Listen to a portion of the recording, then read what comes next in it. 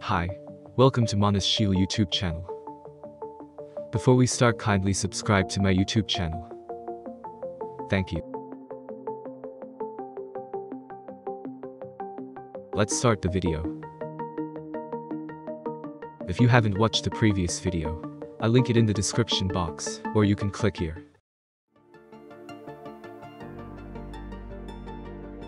Chapter 2 A Short Lived Everyday Life Carrion vs. Floor Guardians.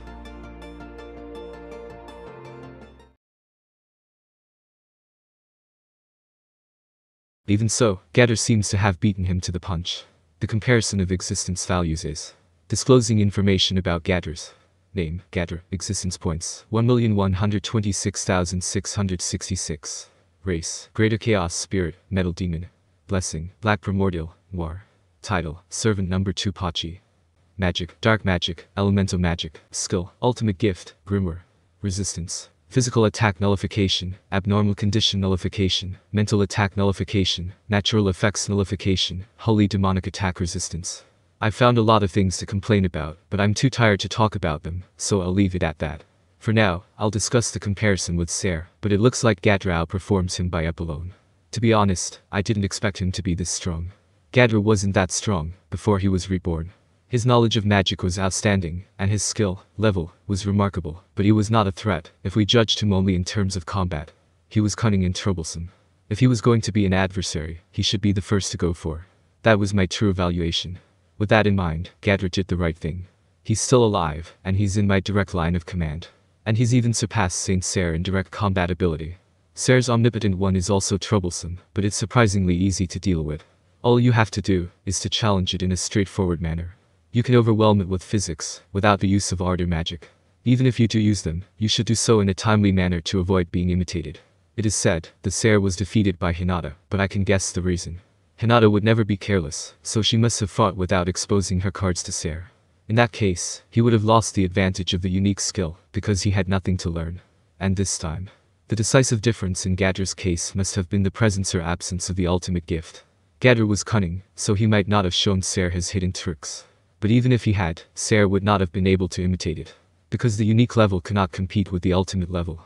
With that in mind, I realize once again that being able to give an ultimate gift to a subordinate like me must be quite the foul move.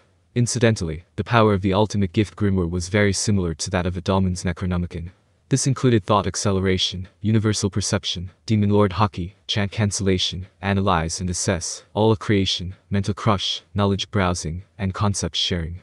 Knowledge browsing seems to be an ability to learn from Ciel-san. And concept sharing seems to be the right to share with Adalman. Well, like Ciel-san, it seemed to be a skill that embodied Gadra's desires. Anyway, I understand why Gadra is stronger than Ser. I also now have a rough idea of how powerful Ser is. As I recall, the Holy Knight Order had been working hard to conquer the Labyrinth, but was their current ranking at Apito's level. That was before Adalman's evolution, so it's not very useful. I heard that they came to visit us recently, and that he had collected some data. Arno and Reynold were extremely strong, with existence values of nearly 500,000. The remaining captains were also around 300,000 each, and seemed to have grown significantly compared to their initial levels. Since they were in the same level range as Grigori, it would be interesting to have them form a party. Ser, on the other hand, had the advantage of learning the arts easily, so it might be better to leave it to Hakir. He could be a good training partner for the children, and I thought he could also learn a lot in our country. Of course, that should be kept confidential. And so, the training plan for Ser and Grigori was decided. For the time being, I decided to let Ser and Grigori familiarize themselves with the labyrinth. Benimaru had been informed of the training plan, and would be sent to his own place, when the time was right. Will I be taking care of them again? I'm counting on you. It's sudden with Hakiru, so there might be some confusion, right? Well, that's true. But we're all in the same situation, and I think you're being too overprotective. Benimaru chuckled. You may have a point, but they are our guests. If they had immigrated to our country, I would not have allowed them to be too unreasonable. More importantly, speaking of training. So, what's the status of Carrion and the others? Ha, things are getting interesting over there. As soon as Benimaru said that, Ciel-san disclosed the information. Name, Carrion. Existence points, 2,773,537. Race, Beast God, Jushin. Greater Chaos Spirit, Light Spirit Beast. Name, Frey. Existence points 1,948,734. Race Bird God Chaojin. Greater Chaos Spirit, Sky Spirit Bird. The Labyrinth, it's dangerous. All of the existence values and personal information is completely visible. Carrion and Frey Sen have evolved and took on a divine nature. Frey Sen's existence value is less than 2 million, but she seems to have met the requirements for divinity. I guess it is within the margin of error.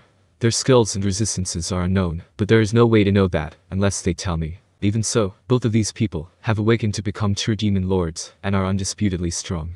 In my case, the amount of magicules had increased tenfold, but Carrion and Frey Sen didn't seem to have increased by that much. Or rather, there seemed to be individual differences. My impression is that Carrion's pre-evolutionary value was around 700,000, and Frey Sen's was less than 400,000. Assuming that I'm right, Carrion's strength has increased fourfold, and Frey Sen's strength has increased fivefold.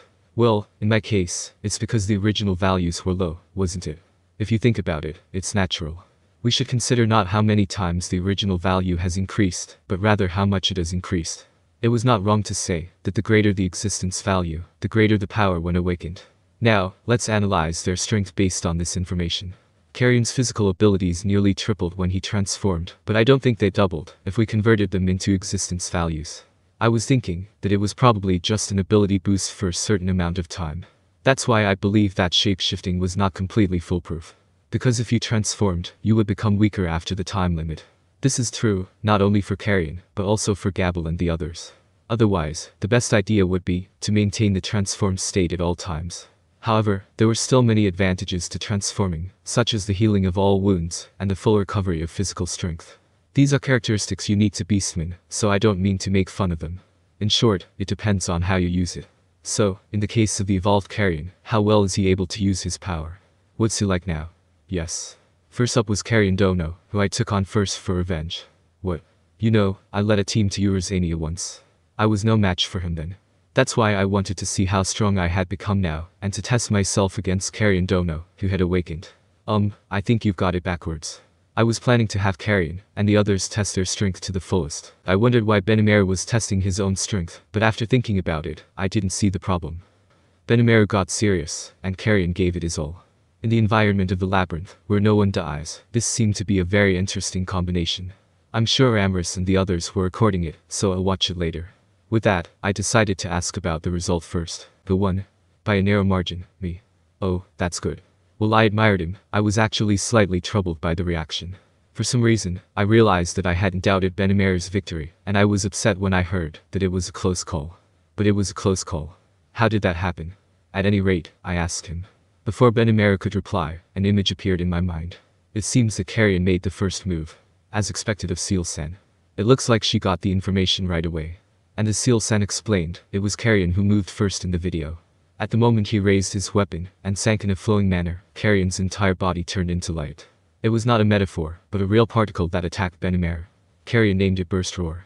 It is an illusionary diffusion-focused particle cannon that can transform his own body into willful particles that pierces the enemy. So, it has a will then. It means that Carrion had also awakened and acquired the characteristics of a spiritual life form. It was also understandable that the light that had followed Benimaru swallowed him up. The moment the game started, I got chills, or rather, I sensed that it was going to be dangerous. So, I decided that this was not the time to wait and see, and activated my heat haze. Benimaru's heat haze is a power that can be called the ultimate secret of Formide. It prevents any attack from catching you, so it will only work if you have the ultimate skill on top of it. However, if that had not been activated, Benimaru would have lost in the first move. After all, Carrion embodied a speed several hundred times faster than the speed of sound, comparable to that of Velgrynd's super speed attack. Benimaru's evasion of the attack was amazing, but there was nothing he could do if he had been tracked from there. It was because of his ultimate skill Heat King, Amaterasu, that he was able to withstand this. Your intuition and your ultimate skill were the difference between victory and defeat. Yes, it was a close call. I was so proud of myself that I thought I could win more easily, so it was a good reminder for me. That's right. I didn't doubt you'd win, so I had mixed feelings about it. After all, carelessness and pride can lead to defeat. It's hard to be aware of, so I'm grateful you realized this before the showdown. Yes. Even if I'm aware of it, I can be unconsciously proud of it. That's why it's called carelessness, but it can be scary. Exactly. We were grateful to Carrion for reminding us of our lack of awareness. After reflecting with Benimaru, I relaxed with a cafe lait brewed by Shuna and listened to the rest. Did you fight with Frey Sen? No, I think Fridono saw us fighting, and decided she couldn't win. She seems like the type who hates wasting time. I see, so that's how it is. I nodded my head, agreeing with Benimaru's conclusion. Friesen is not particularly belligerent, so I can understand her reaction. Besides, I had heard Milim complaining about Friesen's meticulous nature. I've heard that she's been having a lot of trouble with it, but it's none of my business, so I'll just ignore it. After that, it was a matter of trying to conquer the labyrinth to see how far they could go. If you want to test your strength, that's probably the quickest way. Yes. Each one started at the 51st level, individually. As Benimaru explained, images began flooding my mind. Ciel San is a being of many talents. First, Carrion. The power that affected Benimaru was serious, and he continued to make good progress. The 60th level was cleared easily due to Gadger's absence. Though at this rate, even if he had stayed, he would have been defeated. That's how unstoppable Carrion's momentum was. He also fought Adalman and the others, who happened to be back to adjust the magic transfer circle, as a test of his skill. As a result, he easily defeated them, even though it was 3 against 1. That wasn't surprising. He was using Burst Roar generously, so Adalman and the others had no time to take countermeasures. Winty acted as the shield, Albert as the ranger, and Adalman as the attacker. That combination fell apart when Winty was first defeated. Carrion then went after the troublesome Adalman, leaving Albert behind. The way he fought was reminiscent of a lion on the hunt. It is the female lion that does most of the hunting. I know that, Ciel San's explanation is very useful, but sometimes it makes me feel like a fool. It's always been that way, even since the days of the great sage, right? I'll be careful. Really, please do, I nodded, greatly offended. So, back to the topic at hand. Carrion's burst roar was incredibly powerful. Adalman had a light attribute, but Carrion was also a light attribute. There was no difference between them, so it was just a matter of simple strength. The interesting to notice here was that Adalman has an ultimate gift. Carrion does not seem to have an ultimate skill, nor does he have mythical great equipment. So, how was he able to beat Adalman? I seem to remember Ciel Sense saying that the ultimate level can only be beaten by another ultimate power. I don't remember. Oh, is that so? I feel like I've been deceived, but I'm not so sure either. Carrion also possesses the characteristics of a spiritual life form, so his strength of will must have been able to rival the ultimate power. I see, that makes sense. In other words, Carrion has more offensive power than the multi-layer barrier reinforced by Adalman's Necronomicon. The next opponent to face Carrion Dono was Kumar. Kumara wanted to fight first, so I gave her permission. Well, Zijin is stronger than Kumar, so maybe we should rethink the Labyrinth floor guardian placements. Right. And as it turns out, it was a pretty good match. Again, a video was shown. Kumara hadn't shown her tailed beasts, and was going all out from the start. She had heard the news of Adalman and the others' defeat, but seemed to be going into battle without listening to the details. There's a big difference between knowing what the enemy is up to and not knowing. And yet, she dared to challenge the enemy on equal terms. Carrion was superior in existence value. However, Kumar had the ultimate gift Beast King Bahamut. Again, Carrion made his first move with a burst roar. This time, it became several flashes of light, aiming at Kumara from all directions. Kumara, on the other hand, flew to the sky and invoked gravity domination. This caused the light to bend due to the supergravity, and Carrion's attack only pierced Kumara's leg. This was not Kumara's intended evasion, but was just her luck. That's why she did not counterattack, but instead prioritized her own recovery. Or is it possible to substitute with the legs of a tailed beast instead? The tailed beasts can be resurrected by Kumara's magic heals, so it would be difficult to disable Kumara with an opponent of the same level. And Carrion, who failed in his first attack, had materialized. The particle state, which seemed to be invincible, still had a time limit, and it looks like it cannot be fired repeatedly. Carrion did not chase Kumar, but instead kept his distance and set up a white tiger blue dragon strike. Kumar looked down at Carrion from above. Carrion stared at her, and considered his next move. Their gazes crossed, and in the next moment, a tremor ran through the air. Kumar swooped down to attack Carrion, and unleashed a nine-tail piercing strike. Carrion responded by concentrating his magic power on the white tiger blue dragon strike, and unleashed a beast roar. It was Kumara who won the clash. The particle cannon fizzled out, and Carrion's white tiger blue dragon strike shattered. I will win. Kumara was proud of her victory, and tried to finish Carrion off. But that was not to be. How naive.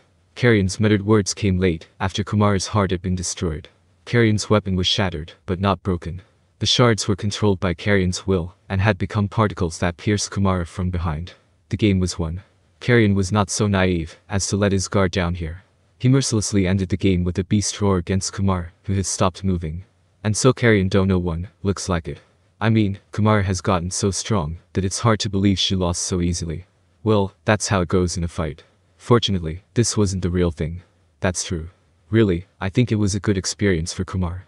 Such a display of Carrion's prowess made us all feel very remorseful about ourselves. We've been too prideful. The idea of taking care of Carrion Dono was very presumptuous. There were many things to teach, and I learned a lot from him. Well, yes. Some people say that teaching others is like being given an opportunity to realize what you lack. I think he meant that, if someone asks you something you don't know, you should look it up immediately and use it to your advantage. In this case, I felt that he learned how to fight more carefully by training with Carrion in actual combat. Carrion seemed to be getting more and more sophisticated in his fighting style. If Kumara had taken him on before Adalman, the odds would have been more likely to be reversed. That was how well Carrion had developed. Well, I guess Zijin was in danger too. I couldn't imagine Zijin being defeated, but at this rate, oh, that was out of the question. A. Facing off, Carrion Dono was the first to set up, the image played out. The battle was instantaneous. Before Carrion could turn into particles, no, that's wrong. Immediately after Zijin smiled at him, as if he were an illusion, Carrion's entire body was cut into pieces. Instant kill, what is Zijin really? To be honest, it's almost a miracle that I was able to beat him. If I tried now, I don't think I could win. Benimaru chuckled. He may have been being modest, but if Benimaru, who hated to lose, was saying as much, then Zijin truly was exceptional. If Zijin had been defeated here, it would have required a fundamental review of our defense system. Zijin doesn't seem to be very prideful. We've reaffirmed our own lack of awareness, but that seems unnecessary for Zijin. Agreed. He's extremely stoic. It was the most complete victory he's ever had, but he didn't seem satisfied at all, saying this isn't even close to Rimuru-sama. I wondered if Zijin was aiming for an imaginary me. I felt very far away. Thank you for watching. Hope you enjoy it.